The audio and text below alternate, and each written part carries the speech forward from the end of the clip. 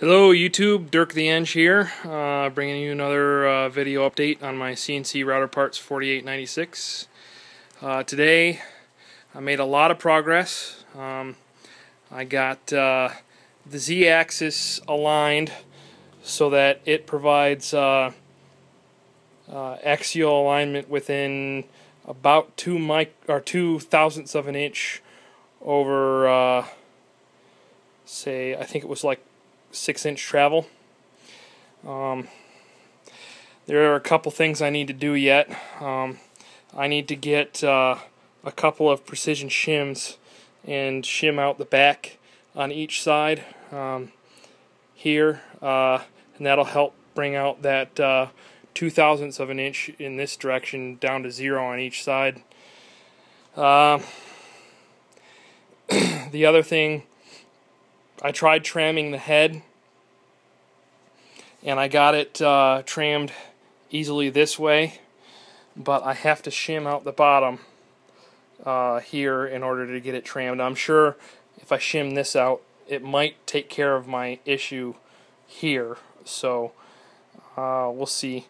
Uh, I did get a, a surface path done or surface pass and uh, you can really feel that it is very smooth in this direction. There's almost no uh, discernible um, tool path marks in the board this way, but uh, this way you can even see here.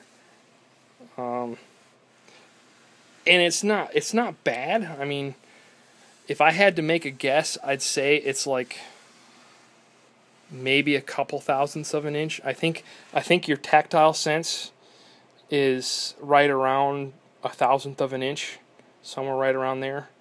Um, maybe I think that's around 10 microns or so. Um, and I can barely feel anything. It's not quite perfect, but uh, I've got things aligned pretty well. Um, there was one kind of big disappointment in the day, and that would be uh, the dust shoe from Kent CNC. Um, I don't know if you remember from an earlier video, I was concerned about um, the fact that there wasn't very much distance between the back of the shoe and the edge of a of a planing bit. Um, and that turned out to be a very valid concern. Um, so what happens when this thing is on?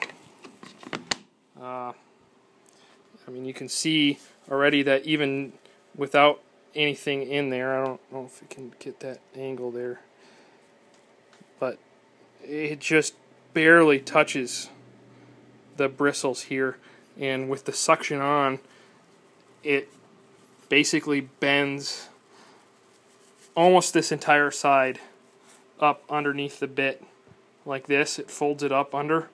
So when it's running, basically what you see is this. I mean, it's a dynamic thing, so what it does is just keep all of those bristles tucked up underneath there and leave the chip path free to spew out all kinds of chips.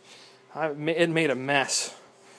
Um, so I don't know. I gotta see if I can try and get a hold of those Kent CNC people and ask them if they can make an edition of their their uh, shoe that comes back maybe another inch, inch and a half.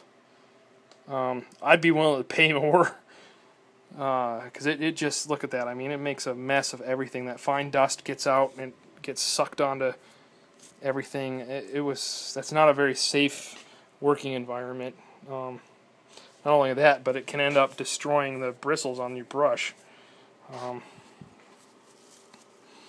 I don't know. I was pretty disappointed with that.